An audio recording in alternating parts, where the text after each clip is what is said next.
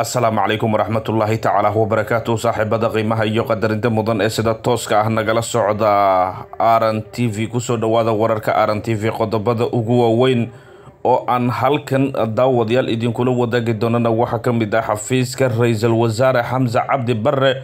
oo tallaabo culus qaadi doono. Maxaad xilligan ka og tahay iscasilaada xogayihii joogtada ee xafiiska ra'iisul wasaaraha lacagta uu lunsaday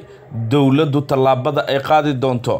Cidda xilligan ka soo shaqaysay iscasilaadiisa maxay xilligan sabab u ahayd?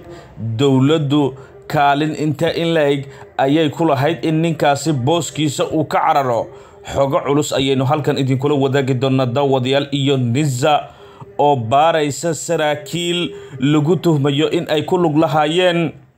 dhacdooyinkii ugu dambeeyey ee magaalada muqdisho ka dhacay kiiskii cabdinaasir dahable oo isagu markan weji kala yeeshay. Xogtii ugu cuslayd ayaynu halkan daawadayaal idinkula wadaagi doonaa qodobadaas iyo weliba waxyaabaha kale ee nagu soo kordhaa ayaad wararka aran t v ku daawan doontaa fadlan daawade haddii ay tahay. Markii kugu horreysay aad halkan soo boqotaa naga ilaawin in aad rukumato qeybaha kala duwan ee baraha bulshada aynu ku leenahay sida youtube-ka iyo weliba facebooka. Soo dhowaada saaxiibada qiimaha iyo qadarinta mudan. Waa hagaag. Xogayihii joogtada ahaa ee xafiiska ra'iisul wasaaraha soomaaliya xamse cabdi bare iscasilaadiisa ayay xilligan xog markaasi ka soo kordhaysa. Waxaa la tuhmayaa in xogayuhu uu markaasi lunsaday lacag la sheegay in la doonayo in lagu hormariyo xafiiska ra'iisul wasaaraha shaqooyinkana markaasi lagu ku sii dabarido tababaro dheeraad ah loogu sameeyo shaqaalaha xafiiska ka howlgalo lacagtaas oo la sheegay in ay ka timid hay'adaha xafiiska shaqada la leh mid ka mid a bahwadaagta la-ah hase yeeshee xafiiskan waxa uu ahaa xafiiska ugu sarreeya ee shaqada waxaana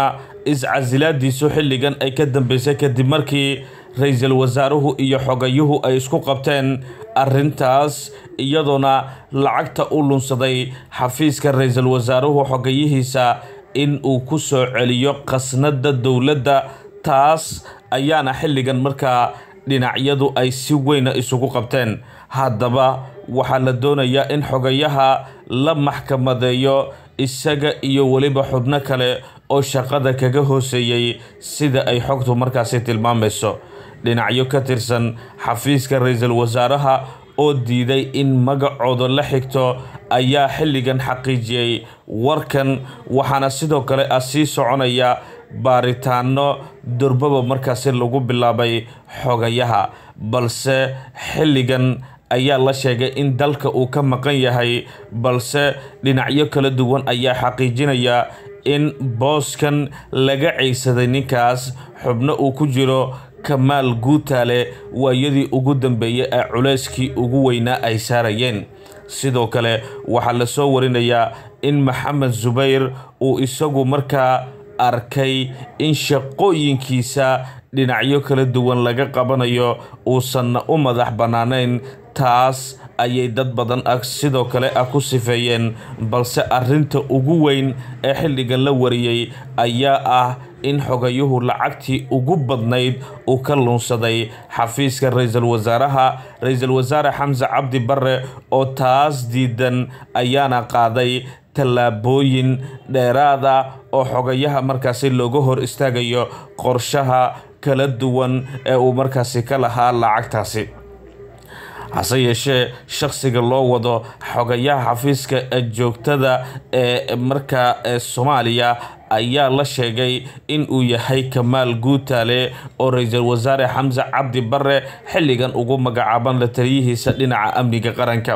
Waxaana marba marka ka sii dambeysa kamaal guutaale soo xoogeysanayso inuu qorshahan isaga uu ka dambeeyey lacagta uu ninkan luunsaday ee lagu eedeynayona uu isagu soo abaabulay isaga oo warbaahinta iyo qeybaha kala duwan ee baraha bulshada arinkaasi u marsiiyey waxaana intaa kadib dhashay tuhun kala duwan oo loo qaaday maxamed zubayr xogayihii xafiiska ee joogtada ee ra'iisul wasaareha soomaaliya xamse cabdi bare ninkan ayaa horay waxa uu markaasi ula soo shaqeeyey madaxweyne xasan sheekh maxamuud waxaana uu ka mid ahaa barayaashii madaxweyne xasan sheekh ee ardayda u ahaa isaga oo ka baxay jaamacadda simad ee magaalada muqdisho. Sidoo kalena wasaaradda dastuurka ayuu ka noqday agaasime. Intaa kadib madaxweyne xasan sheekh maxamuud ayuu galaangal dheeraada la sameeyey xilliga mudaxileedkiisii hore ee laba kun laba iyo toban ilaa iyo laba kun toddoba iyo toban waxaana qorshahaas dhinacyada kala duwan ee ka soo shaqeeyey qeyb uu ka ahaa ninkan iyadoona lagu tuhmayo in madaxweyne xasan sheekh maxamuud ragga aadka ugu dhowaa uu ka mid ahaa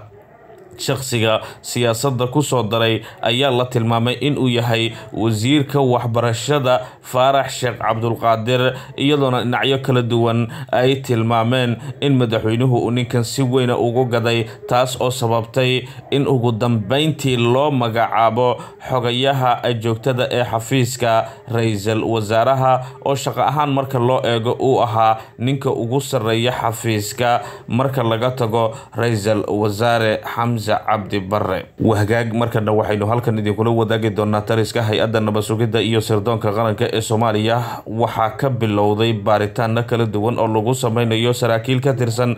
hay'adda nabad-sugidda iyo sirdoonka qaranka ee soomaaliya. Arrintan ayaa waxa ay markaasi ka dambeysay kadib markii dhinacyadu ay si weyn xilligan lagu tuhmay in ay ku lug lahaayeen dilal maalmihii ugu dambeeyay magaalada muqdisho siyaabo kala duwan uga dhacayay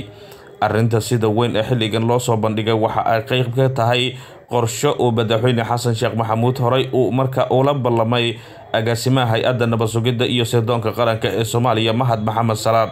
Sidoo kale saraakiil badan oo lagu tuhmayo in kiisaskii ugu dambeeyay ee muqdisho ka dhacay iyagu ay ku lug lahaayeen kii ugu dambeeyay ee ganacsadaha markaasi lagula kacay oo saraakiil booliis ka tirsan iyo sidoo kale hay'adda nabad-sugidda iyo sirdoonka qaranka ee soomaaliya ay iska kaashadeen iyada oo qorshahaasi fulinteedu lacagtii ugu badnayd ay markaa ku qaateen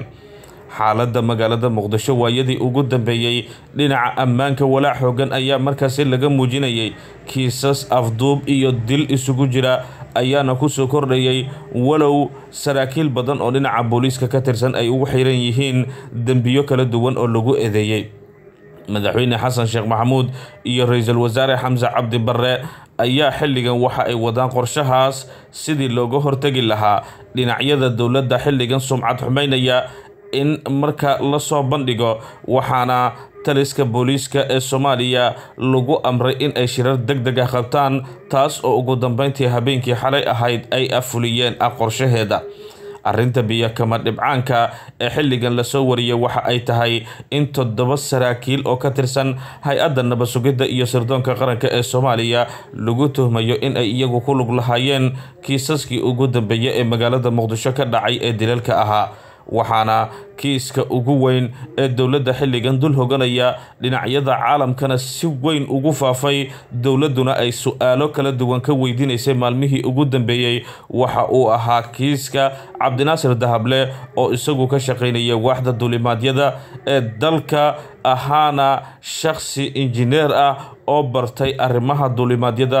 ku tacalluqa waxaana uu ahaa nin si weyn dhinacyada wakiilada beesha caalamka ugala shaqeeyey qorshayaal kala duwan oo ay dowladdu ka lahaayeen. Hay'adda saadaasha adduunka ayaa ka mid ah hay'adaha dowladdu doonaya in kiiskan lagula xisaabtamo. Sidoo kale ninkan waxa uu haystay dhalasho wadanka ingiriiska. Dowladda ingiriiska ayaana dowladda federaalk ee soomaaliya cadaadis ku saareysa kiiskan iyo sidii marka dowladdu su'aalo dhab ah loogu weydiin lahaa. Arrintaas iyada oo laga hortegayo in uusan go-in xiriirka wakiilada beesha caalamka lala leeyahay. Waxa uu mahad maxamed salaad ah qaaday tallaabooyin looga jawaabayo baaqyada ka imaanaya dhinacyada caalamka ee ku wajahan kiisaskii ugu dambeeyey ee muqdisho ka dhacay. Siiba kiiska cabdinaasir dahable oo su'aalo badan ay xilligan dul hoganayaan dowladdu. Waxa ay markaasi doonaysaa in saraakiil badan